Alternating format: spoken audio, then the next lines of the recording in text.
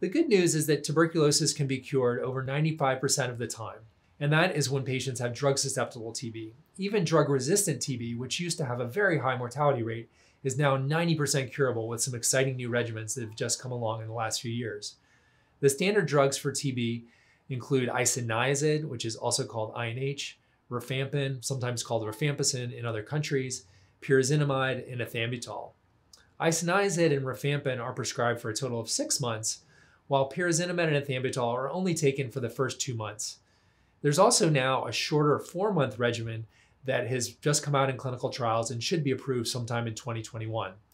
For TB preventive therapy, patients may be prescribed medications such as rifapentine and isoniazid once weekly for 12 weeks, or an older regimen, isoniazid once daily for nine months. Another option is rifampin daily for four months. All of these medications have some side effects. For INH, the main ones are numbness of the fingers and toes, and also uh, liver toxicity can be an issue. It's important if you develop any of these symptoms while taking TB medications to immediately seek uh, care so you can get evaluated and make sure you don't have any serious complications.